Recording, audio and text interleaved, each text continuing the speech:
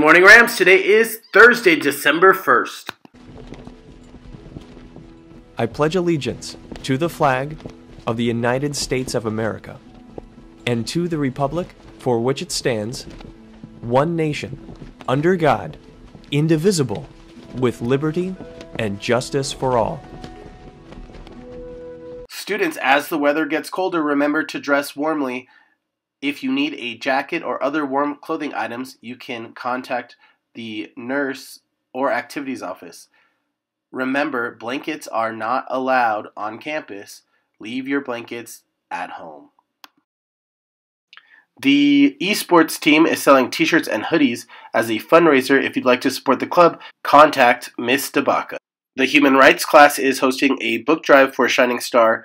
Make sure you drop off your donations in the library or Hum 219. Students interested in competing in track and field must attend a preseason meeting for basic information on Tuesday, December 6th during A or B lunch in the gymnasium classroom located on the right side of the building when entering the double doors. The Best Buddies and Unified Sports will be selling candygrams. Send your friends, teachers, or yourself some candy messages to spread holiday cheer. We will be selling them on December 1st and 2nd during both lunches. The candygrams cost $2 each.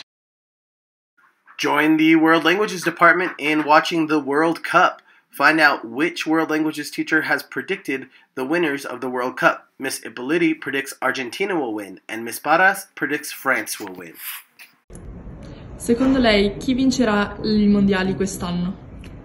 Non l'Italia, secondo me vincerà l'Argentina. Bonjour pour France. Bonjour. Que vous On va gagner la Coupe du Monde. Je pense que c'est la France qui va gagner la Coupe du Monde cette année. Bonne chance, à plus. À plus. Spanish teacher Miss Armijo predicts that Spain will win, and Miss Padilla, who teaches Spanish, predicts Argentina will win. Buenas tardes, señora. Buenas tardes, Isel. ¿Usted quién cree que pueda ganar la Copa Mundial? Pues yo voy a animar a los Estados Unidos, pero espero que gane España. Muchas gracias por su... Igualmente. Oye, Miss Padilla, ¿quién crees que va a ganar el Mundial?